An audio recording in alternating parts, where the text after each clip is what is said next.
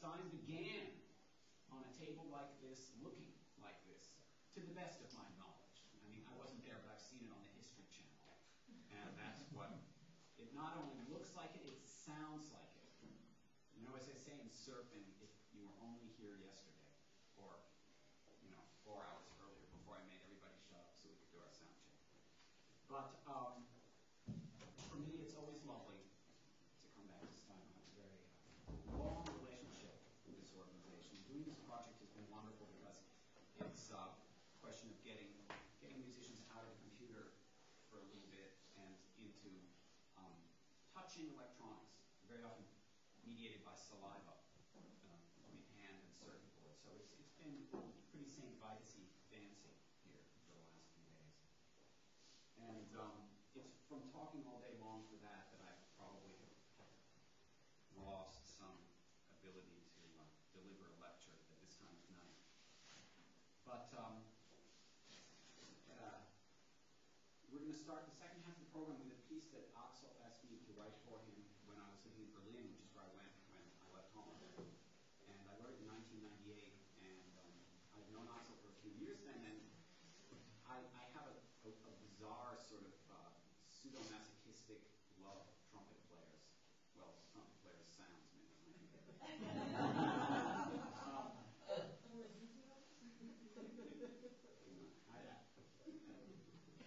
it's like how does a foot fetishist become a foot fetishist? Was it from being kicked as a child? Probably not. There's no explanation. But um, Axel, when he asked me to do something for him, I was quite baffled because uh, he has such a particular style in dealing with. Uh, well, let me say that, that as a composer, I've always felt that most of life takes place far too quickly. And maybe I'm just kind of like thick, but I always think things should be going slower than they are. And the thing that I've always loved most about musical instruments is the moment it takes to make a sound. Not the sound itself, but that little beautiful microsecond that a sound begins. And when I heard Axel play, I realized here was a guy who spent most of his time making that part of the sound. I really liked that, but I felt like I hadn't could contribute nothing that uh, he hadn't figured out already. And then um,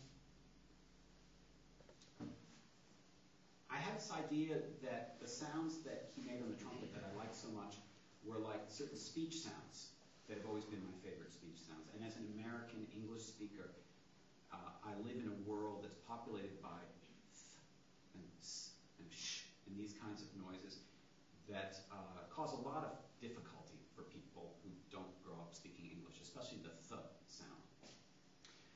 So I uh, found this Shakespeare sonnet. I was I was feeling melancholy, you know, and I was reading my Shakespeare sonnets, and I found one that had uh, very sort of palindromic rhythm, and it used a lot of these kind of uh, sibilants and, and stops and things like that. It, it's sonnet 40, and it goes, uh, Take all my loves, my love, yea, take them all. What hast thou then more than thou hadst before? When you begin with that, it, immediately sounded like, first of all, it sounded like bebop to me, and secondly, it sounded like Axel's trumpet. So basically, all I did was uh, gave him the text, and uh, we worked out a strategy for him to play the song. And now I've just violated what I call Clarence Barlow's first law, which is I've talked for longer than the duration of the piece.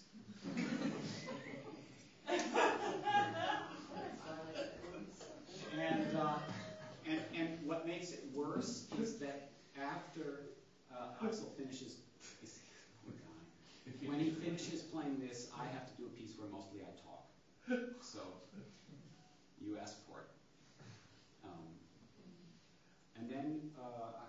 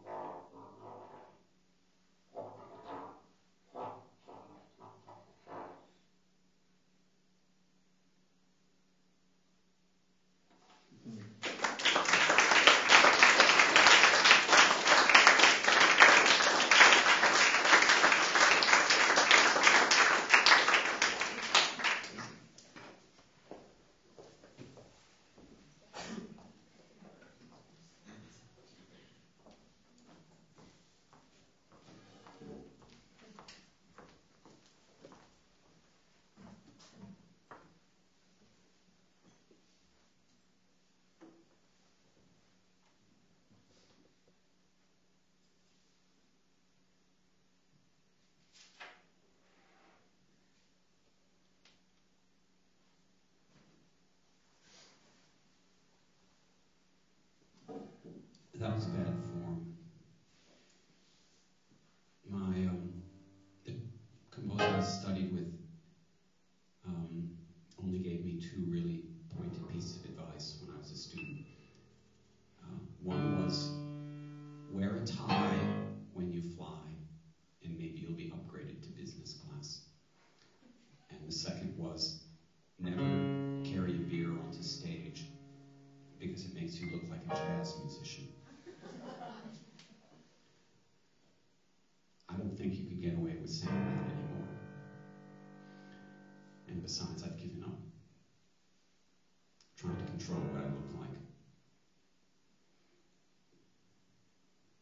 was thinking, uh, being back in Amsterdam, about uh, language.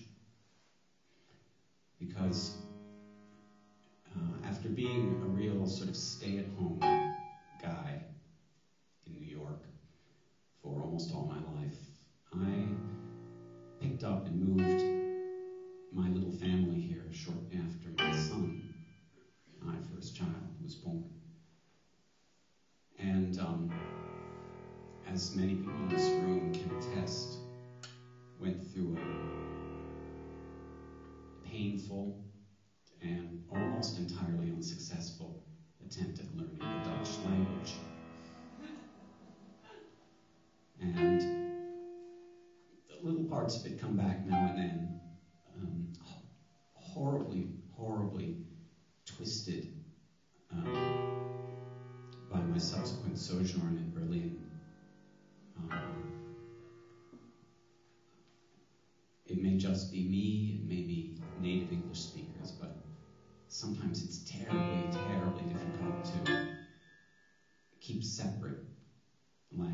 from um, a large, if unhappy family, such as the Germanic languages and the Romance languages. But uh, when I walk through the streets, of course, one of the beautiful things from a sonic topology standpoint here in Amsterdam is the number of languages you can hear at once.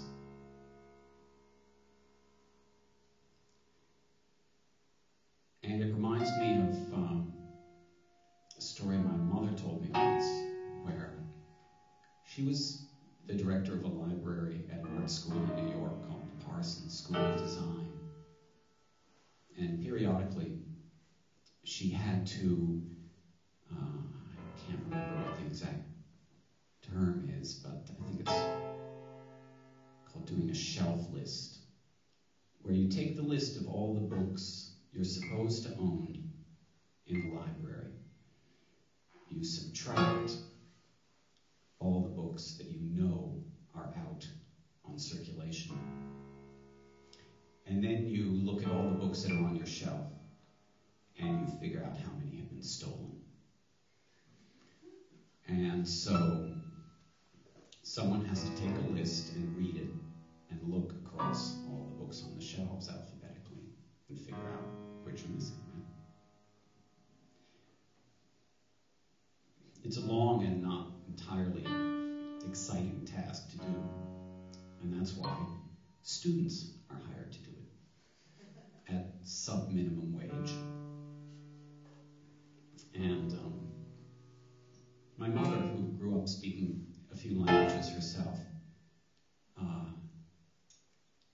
realized that she had a fair amount of linguistic diversity in her work study students. That's America for you, right? In other words, the people who have the greatest linguistic skill are usually at the bottom of the employment totem pole, which tells you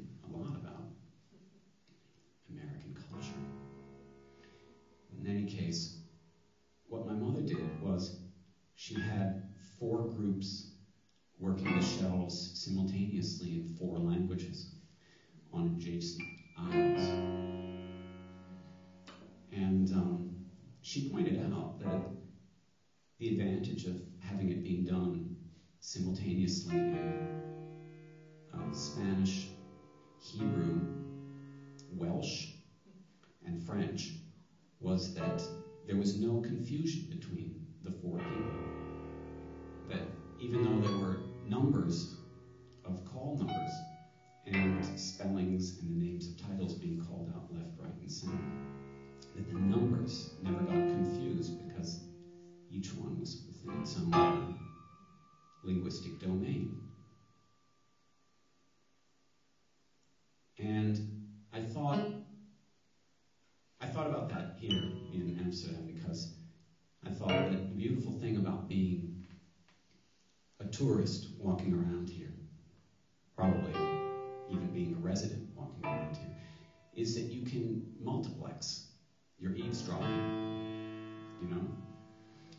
You can turn on your French, or you can turn on your Spanish, or you can turn on your German, or you can turn on your Dutch, or you can turn on your English, and switch channels and follow.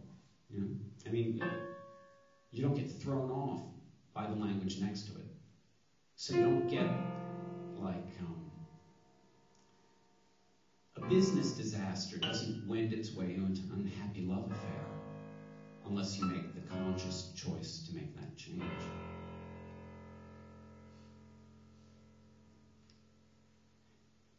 And what I was thinking about is that when you work with uh, technology, computer technology, yeah, I think with computers specifically, you think a lot about uh, something that is called languages.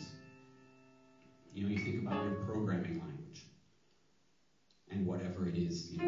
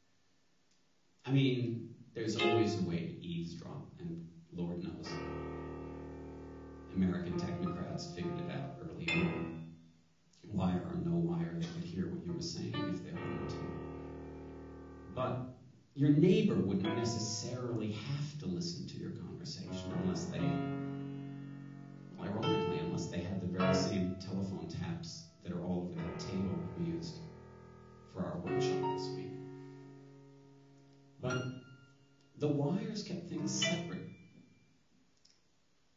They kept things distinct.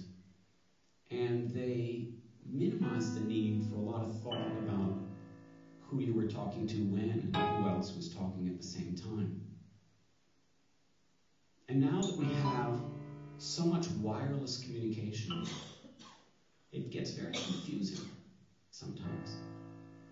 Signals get crossed, and you know, I, I sit there with the wireless link on my Apple, and I just figure out who's close enough to to invade in order to check my email. And it's sort of. That's nice. It's telling me to shut up or hurry up. But um, it's it's interesting and liberating in one way, because it's sort of this this open spectrum, and it's like being in a town where no one has curtains on their window. Wait, that's also Amsterdam. So now my metaphors are going to get muddled. But um, it also, I'm talking to a couple of people here about this, that you look down the line and you, and, and you see like computer communication is going to become less like the information superhighway and more like the Place de la Concorde, you know, in Paris, just huge traffic jams, people not being able to get places. And most importantly, in order to keep the messages separate, they're going to have to embed in the messages a very large amount of extra information solely to keep them separate. Kind of verbal guardrails, you know, capsules separate them out because the wires no longer separate them out. And when I started to program computers, one of the things that really kind of irritated me was that I was told that I was programming in a computer language, but it didn't seem anything like a language.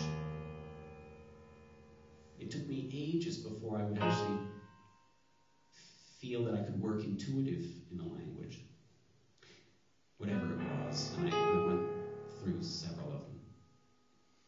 And um, I certainly never felt that they were natural languages. Languages that could have arisen from going or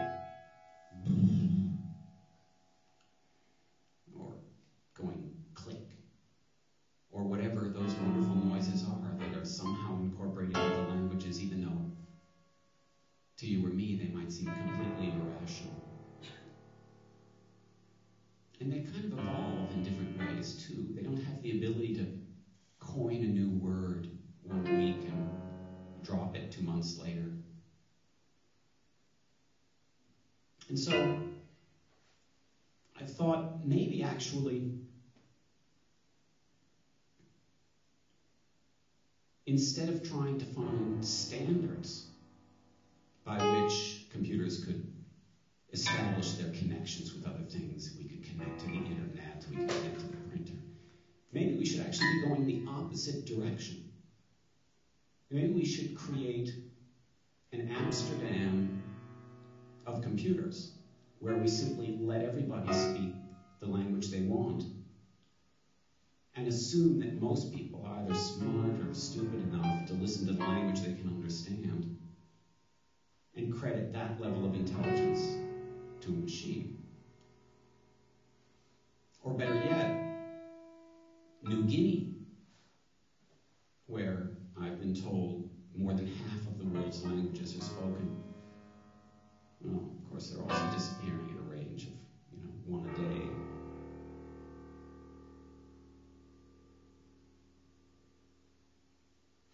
In any case, if you figure that Microsoft is an example of what happens when somebody really tries to think about controlling the environment of computer communication and application, it doesn't give one a whole lot of hope about the future it, doesn't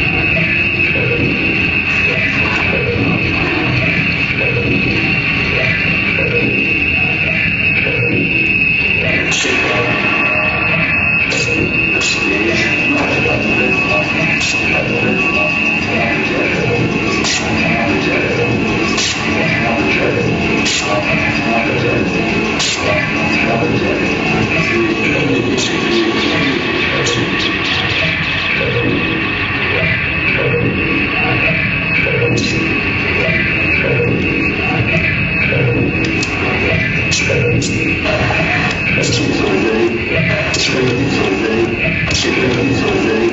you.